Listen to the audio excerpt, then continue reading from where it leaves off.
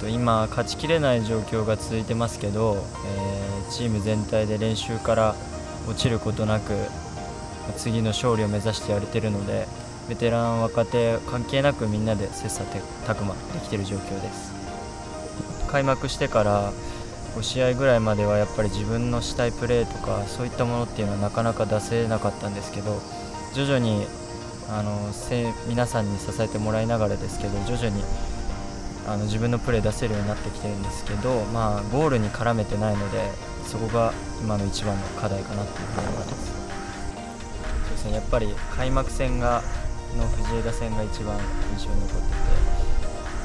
今年はすごい大変な状況でしたけどやっぱりああして開幕を迎えることができて皆さんに支えてもらいながらああして開幕を迎えて勝利することができたのですごい印象に残ってます。1年目はこう勢いっていうかそういったものでやっぱりやっていたなっていう部分があって2年目になってから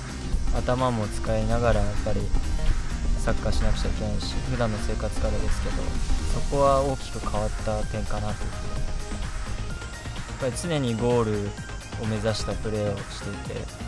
その中でもやっぱりチーム監督が目指しているサッカーがあるのでそれを体現できるように頭で考えながらやってますそれはやっぱりゴールに向かうプレーと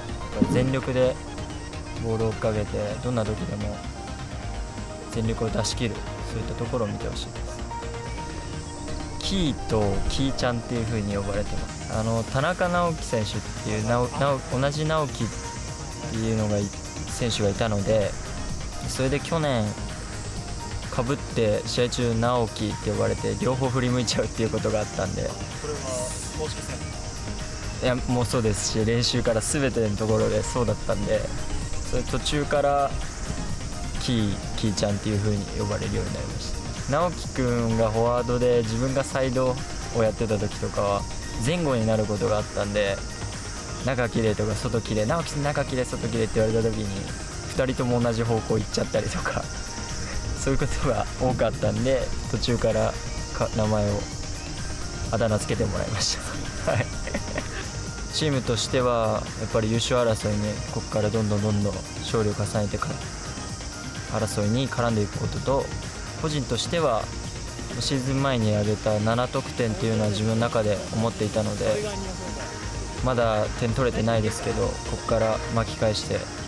7点そして試合に出続けるってことを意識してやりたいと思います。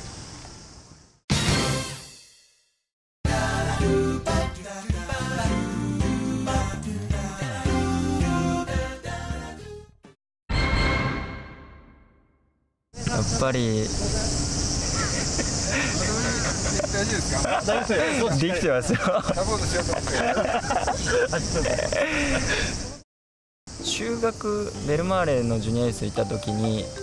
中学2年の時にスペインに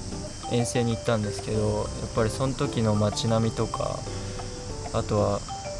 サッカーのバルセロナの試合も見ましたけどやっぱりそれがすごい印象に残ってるんで景色っていうよりはもう一回あれを自分の目でまた見たいなっていうふうに思います。そうですね。大学まではもう絶対ベルマーレに戻りたいっていうふうには思ってやってましたけど今はこの沼津に加入してからはやっぱり意識とかはしてなくて今はもう沼津のために全力を尽くそうっていうふうに思ってますけどやっぱりあそこあの湘南ベルマーレに対して意識してないって言ったら嘘になるんでまたこう見返してやるじゃないですけどそういった気持ちで今やってます。小あ幼稚園の年少さんの時に兄がサッカーをやっていてそれについていってでその頃はやっぱりまだ物心じゃないですけどそういうのはついてなかったんでただやってたって感じだったんですけど小学1年生ぐらいの時にあの日韓ワールドカップを見てまあ鮮明には覚えてないですけどその時にやっぱりサッカーって面白いなって釘付けになった記憶はあるのでそこからこうサッカー選手になりたいなっていうふうに思いました。そうですね。基本的にはもう外食はなるべく控えて自分での家で食べるようにしていてバランスを、あのー取れるように必ず意識してるのは肉とお魚は1食で必ず両方食べるっていうのは意識してやってます。去年は結構外で食べることが多かったんですけど今年はもうほとんど家で食べるようにしていてもう体の体調とかだいぶ変わったのでそこは意識してます。本当にサポーターの皆さんには今年本当にいろいろなことがあって大変な時期ですけど本当に支えられてるなっていうふうに実感してます。これからもまた皆さんと一緒に戦えますので応援よろしくお願いいたします。全力アスル。